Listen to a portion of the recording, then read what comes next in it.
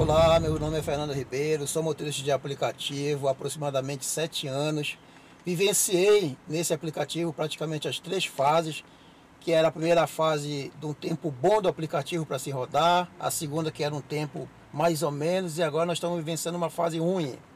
Atrelado a isso, existe hoje a questão da regulamentação da profissão é, por parte do nosso governo federal. Esse projeto do governo federal, ela vai, ele vai abranger, na verdade, todos os motoristas, todos os trabalhadores por aplicativo. E aí eu digo mais a vocês que a importância de ser sindicalizado, ela é fundamental. Então procure o seu sindicato de motorista de aplicativo, se sindicalize. Né? A base é, em relação ao governo federal, a, ao trabalhador, é a parte sindical. Haja vista que o projeto ele contempla todos os motoristas de, trabalha, de aplicativo como trabalhadores.